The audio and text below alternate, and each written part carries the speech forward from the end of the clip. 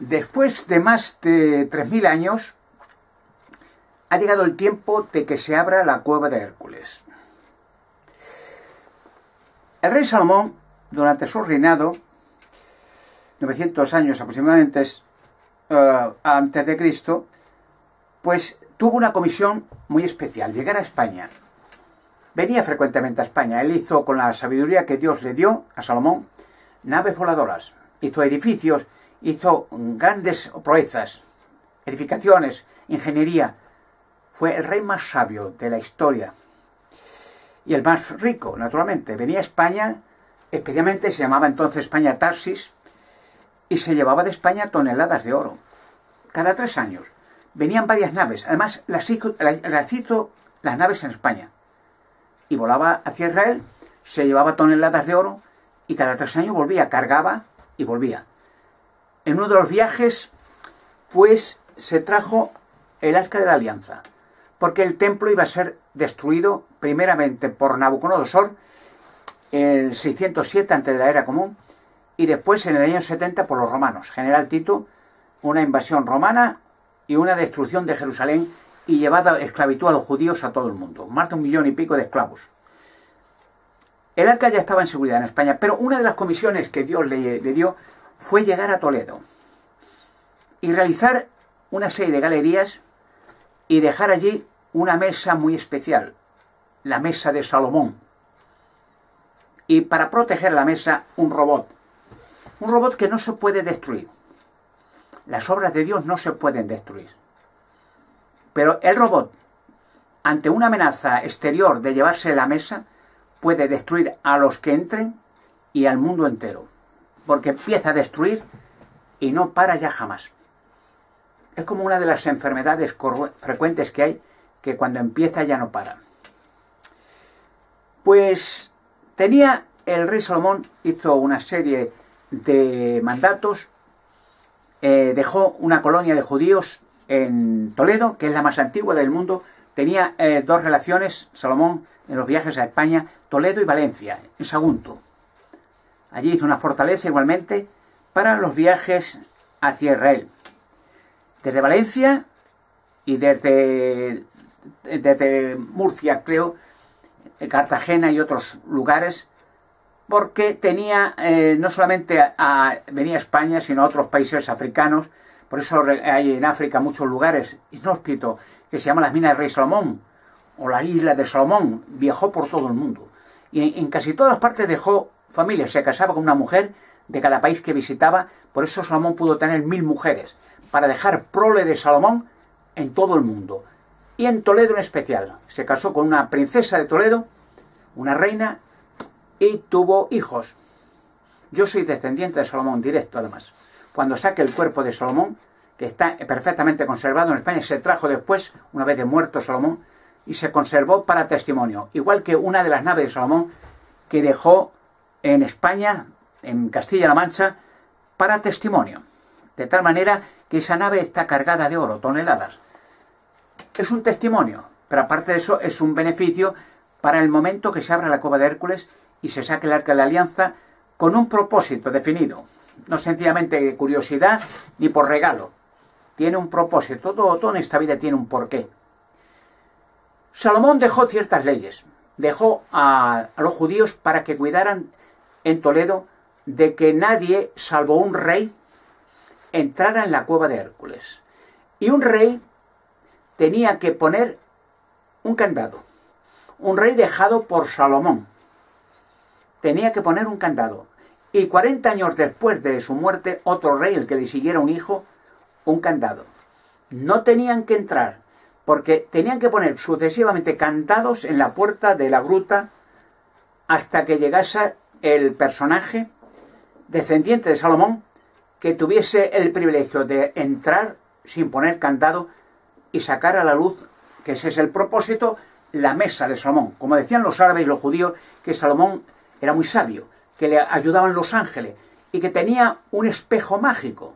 Claro, entonces no se podía decir un ordenador ni un cronovisor, nada. Que con ese espejo mágico miraba y veía cosas del pasado o del futuro la mesa de Salomón, el espejo mágico de Salomón. Y el robot eh, le hizo de tal manera que un robot indestructible, el robot de la cueva de Hércules, solo puede escuchar las voces programadas. Puesto que Salomón podía ver cosas del futuro, grabó voces, las mías.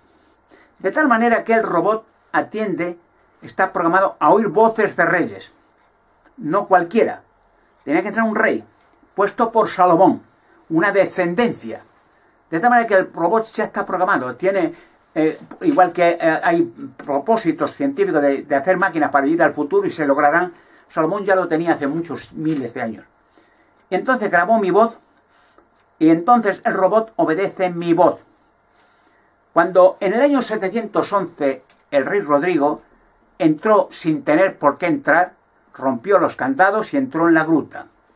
Y entonces el robot empezó a reaccionar, porque el robot eh, va por visión, por sonido, eh, magnetismo, de tal manera que cuando entraba allí alguien se ponía a mover metálico gigantesco y allí aplastaba cualquiera que entrara. No salían vivos. Y entonces, al entrar una comisión en el año 711 de la era común, el robot empezó sus funciones, con unos ojos acristalados rojos y un gris gigantesco metálico, con unas mazas gigantescas aplastar a cualquiera. Y entonces, el rey Rodrigo, que ya estaba programado la voz de ese rey, le dijo al robot que no iban a hacer nada, que no, no iban a llevarse nada, que solamente era curiosear y seguirían sin tocar nada. Y el robot paró, mirándolos a todos fijamente y todos horrorizados. Miró Rodrigo, vio varias cosas allí y precisamente dicen en los textos históricos que Rodrigo vio encima de la mesa dijo un rollo metálico. Claro, en aquellos tiempos no iban a decir un ordenador, no lo entendían eso.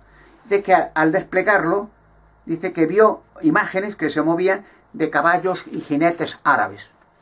Una invasión. Dice que lo dejó allí todo, salió y nada más salir el robot empezó sus funciones y todos aterrorizados salieron de allí. Semanas después, muy pocas, entraron la invasión árabe a España que duró 700 años. Y 700 años España fue islamista, completa. Luego en el año 1492 empezó una reconquista y se expulsó a los árabes y a los judíos de España. Volviendo a ser otra vez España castellana, de los españoles. El robot está programado para oír mi voz. En el año 1546 hubo una segunda expedición. El, el cardenal Juan Martínez Silicio de la Catedral de Toledo tenía curiosidad por entrar en la cueva de Hércules, porque decían todos que ahí se oían voces, se habían luces, y entonces mandó una expedición entrar por el callejón de San Ginés 3, la, la, entrada que yo le dije a la alcaldía, donde han hecho un museo de la Cobercle, y mandó una comisión para que vieran lo que había dentro. Y que diera información de lo que, porque se veían voces, se veían ruidos, luces, y querían saber de dónde provenía. Y todos tenían miedo a la cueva de Hércules. Y entonces el cardenal Juan Martín Silicio mandó voluntarios, les dio comida, luces, antorchas, entraron. Y nada más entrar en la cueva de Hércules, unos kilómetros de túneles, el robot nada más ver gente, fíjese que habían pasado miles de años, no se había oxidado ni estropeado, el robot continúa para siempre. Unas funciones perfectas, si, eh, como los ovnis de Roswell, el mismo material, que no solo se, no se destruye, se repara a sí mismo. Es indestructible y nada más entrar en los, voluntarios con el Juan Martín Silicio que los mandó, el cardenal se quedó fuera, claro. se horrorizaron de ver al robot y salieron corriendo espantados. Dice que le explicaron al cardenal que estaban horrorizados, blancos de, de terror y miedo, que habían visto un monstruo metálico gigantesco y murieron todos a los pocos días. No quedó ni uno. Y Juan Martín Silicio prohibió más entrar en esa cueva lo que ha pasado ahora con mi descubrimiento otra vez, que han hecho lo mismo. Con astucia la iglesia ha tapiado la entrada de nuevo con cristaleras, alarmas, eh, objetivos televisivos, eh, información policial, en fin, no dejan ver ni la cristalera. Siempre la iglesia metiendo sus narices y su mano en todo para que ese descubrimiento no se haga público. Porque dice las profecías, como ya he dicho en otros vídeos, de los judíos, los doce falsos cronicrones de Toledo, les llamó falso, porque todo lo que no era católico era falso, claro. Y entonces eh, predijeron que la próxima vez que alguien entre en la cova de Hércules, empezará en Toledo una hecatombe que se extenderá por toda la tierra, y el Vaticano, la entera Iglesia Católica caerá, se deshará, se destruirá. Vamos. La Iglesia lo sabe, porque eh, como otros satanistas porque Toledo ha sido el centro de los satanistas de todo el mundo, de toda la vida, eh, miran en sesión espiritista, mesa redonda, con los satanistas, con los espiritistas, con los mediums, y preguntan a los demonios, a los espíritus. Y los demonios le dicen, se lo dijeron a Yolanda y Cangas, que me lo dijo a mí, luego me escribió, tengo email de ella, que yo entraría en la cova de Hércules y que empezaría en una hecatombe como jamás en la historia conocido y se destruiría el Vaticano. Ya lo sabe el Vaticano que su destrucción viene. Entonces eh, ocurre una cosa. Nadie en la tierra puede entrar allí. Sin que por lo menos salir vivo no va a salir. Es como el arca de la alianza. Yo sé dónde está, pero nadie la puede ni ver. Cualquiera que la vea, solo verla, es destruido, muere automáticamente. Por lo cual hay ciertos personajes escogidos, escogidos, con cierta facultad y cierta descendencia, para que entren sin que suceda nada y puedan tener autoridad sobre el robot, sobre la cueva de Hércules. El robot me obedece a mí, oye mi voz, la reconoce y hace lo que yo le diga que, tiene que hacer. De otra persona no la reconoce. Y no hay armamento bélico que pueda destruir al robot. Es indestructible. Es como las películas estas de Terminator, los robots indestructibles que se repara a sí mismo. Es lo mismo. Hollywood ha sacado información de lo que es realidad que la gente se cree fantasía no es fantasía, existen esos robots. Por cierto, en la Edad Media se encontró otro robot, porque Salomón dejó varios robots en las galerías para controlar que nadie llegara a la cueva de Hércules, salvo los escogidos. Y uno de los robots pequeños que encontraron metálico en una de las grutas que lleva a la cueva de Hércules, porque Toledo está lleno de túneles a varias alturas, por todo Toledo, hueco, varias alturas, túneles kilómetros, muchos salen a kilómetros fuera de la ciudad. Y entonces uno de los robots que encontraron semidestruido se lo metieron porque lo consideraron sagrado, porque se veía que andaba y movía, se movía, pensaban que era algo sobrenatural, le metieron en la Catedral de Toledo, la iglesia. En la Catedral de Toledo, en la capilla de Santiago. Allí en los libros de historia de Toledo está. Y ese robot se movía por sonido. O sea, cuando hacían ciertas ceremonias místicas en la, en la iglesia, eh, misas, ceremonias estas, y tocaban campanas y tal, el robot reacciona ante sonidos, porque no es por vista, por sonido. Está, eh, todavía funcionaba y se, se movía, quería andar, pero estaba un poco deteriorado, caía de rodillas, porque estaba de los siglos deteriorado, habiendo estado enterrado en, alguno, en una de las grutas bastante cientos de años o miles de años. Y la Inquisición lo mandó destruir ese robot porque decía que era brujería no entendían de mecánica. Si la Inquisición hubiera habido en aquel tiempo un ordenador o un teléfono móvil, hubieran quemado al que tuviera el teléfono y, al, que, y, al que lo utilizara. Todo lo que era mm, ciencia, cultura o tecnología o matemáticas lo quemaban. Decía que, era brujería. la gente no tenía por qué saber cosas que, eran sobrenaturales. Todas las personas inteligentes los, los quemaban. ¿A cuánta gente considera como bruja, bruja, solamente por tener granos o por ser inteligente la mujer, por ser rubia o pelirroja o, por eh, consultar ciertos libros de ciencia?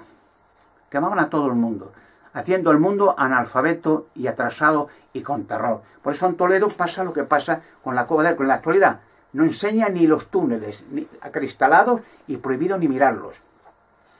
Yo entraré en la Cueva de Hércules, eso está garantizado y es lógico porque en estos tiempos apareceré como gran monarca. Las profecías del gran monarca están ya desde hace muchos siglos y aparecen en Internet cada día más.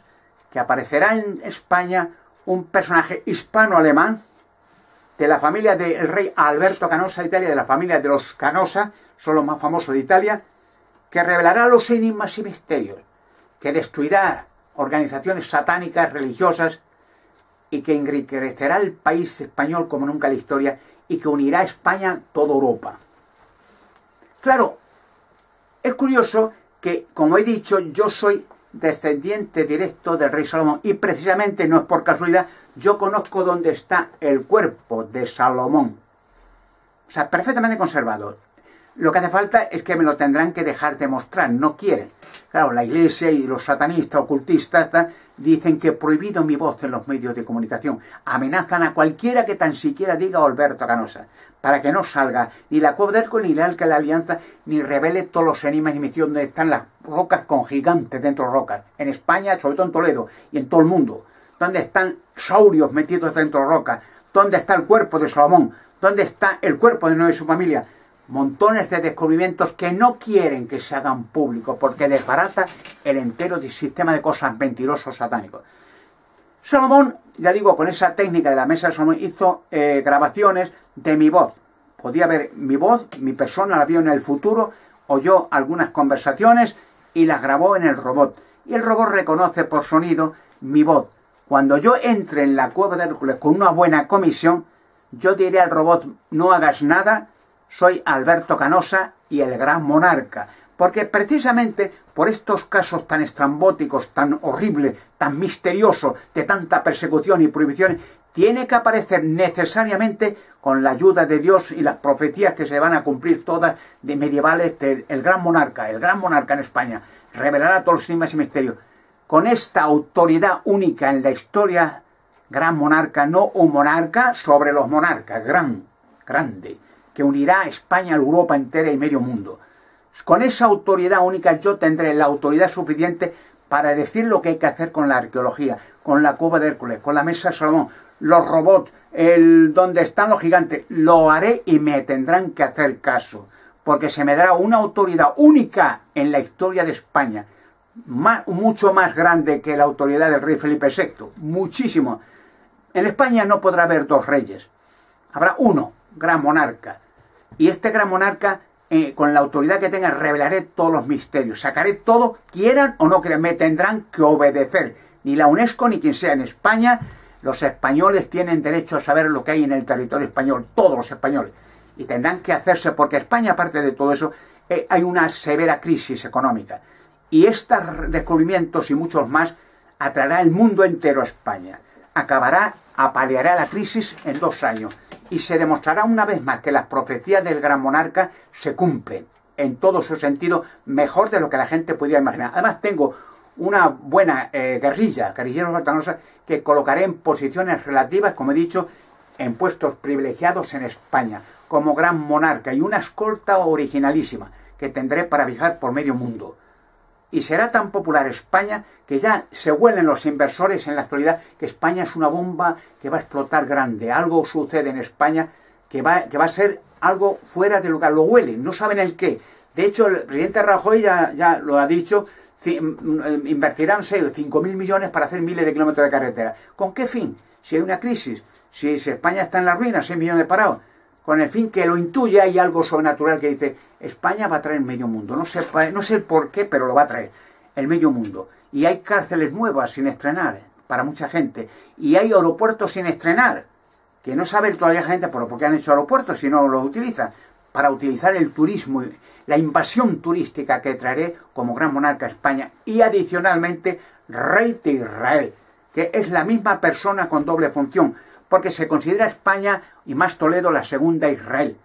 De hecho, la relación entre España y Israel, como Salomón, Israel, España, Israel, siempre ha sido única en todo el mundo. España, Israel, de hecho, de hecho, muchos presidentes israelitas y mucha gente israelita prominente y políticos y tal, todavía hablan español.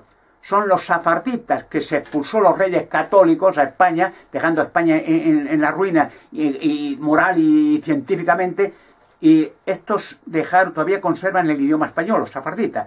Y de hecho ya tienen hasta el carnet español. Todo está preparado. De hecho ya hasta los judíos quieren edificar un tercer templo. ¿Para qué? Para que yo saque el arca de la alianza y se lleve donde yo diga cuando yo la diga. Primero será una exposición en Madrid gigantesca para que el mundo la vea acristalada y luego se llevará a Israel y yo tendré que revisar el templo para que no haya imágenes idolátricas o se haga negocio con el templo ni se haga usura. Será un templo para que se conserve el arca de la alianza, que es el conducto de Dios para hablar con la humanidad. Solamente un rey, según las, según las profecías de la, de pueblo, puede entrar en la cueva de Hércules. Y solamente un rey y la voz de un rey reconocida, el robot actuará y parará de destruir a nadie y hará el robot lo que yo le diga que tiene que hacer. Para que nadie toque la mesa de Salomón, sino que se le lleve con el robot incluido a donde yo diga. Y será una otra exposición impresionante, gigantesca, cuando vean un robot metálico construido por Salomón y cuando vean la nave de Salomón, que es semejante en pequeña escala a la nave extraterrestre de la Luna del Apolo 20, donde se llamó la Mona Lisa, incluso sacaremos la Mona Lisa. Ya veréis quién es la Mona Lisa. Se preparan grandes acontecimientos y como veis tiene cada día más sentido la revelación y la llegada a España en mi persona del gran monarca. Cuando se hagan análisis del DNA, se verán que son directos. Sacaremos el cuerpo Salomón, será un análisis se hará análisis mío exacto, al milímetro, descendiente directo del rey Salomón y descendiente directo por eh, línea salomónica del rey Alberto Canosa de Italia, también profético. Españoles y toledanos, estamos ya en vías de que se descubra uno de los descubrimientos más grandes de la historia del mundo, después del Arca de la Alianza, la cueva de Hércules y la mesa de Salomón, con un profeta, un rey profetizado que dará mucho que hablar y que hará mucho bien a mucha gente y encarcelará a muchos criminales y satanistas, asesinos de niños. Ya hablaremos y ya daré autoridad a Juan Ignacio Blanco para que haga una limpieza en seco de tanto criminalidad aquí en España. Españoles, el gran monarca ya está en las mismas puertas. Se preparan grandes acontecimientos para España, como nunca en la historia ha conocido ni conocerá.